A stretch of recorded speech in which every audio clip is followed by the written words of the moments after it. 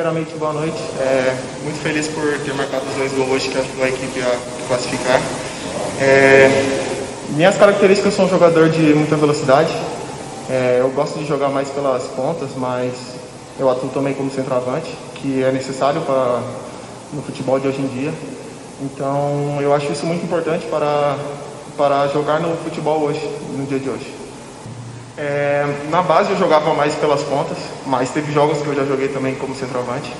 É, isso para mim não, não muda muita coisa. Tipo, eu, eu, eu treino muito nas, nas duas posições. É, estou preparado para, para a posição que o, professor achar melhor me colocar ali. estou muito, muito feliz e preparado.